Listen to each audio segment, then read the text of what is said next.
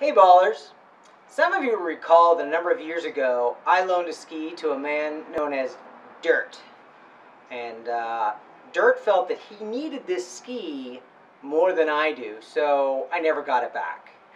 And uh, I've mostly forgiven Dirt for this ski theft, but I found out recently that he was going to get one of the very first new Mapple T3 slalom skis, new ski, nobody's seen them kind of the last that Andy Mapple designed, uh, designed it with Chris Lapointe.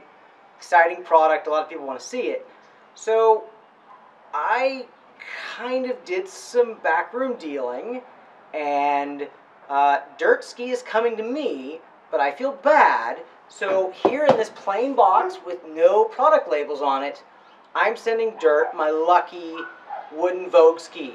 So next Monday, when he's expecting his brand new Mapple, he'll get this Vogue. And I really hope that Dirt is happy with this. I mean, he runs Deep 41 uh, on his T2. He loves his current Mapple. So hopefully my wooden ski will, uh, will work for him until he gets uh, his T3 from me when I get around to sending it to him.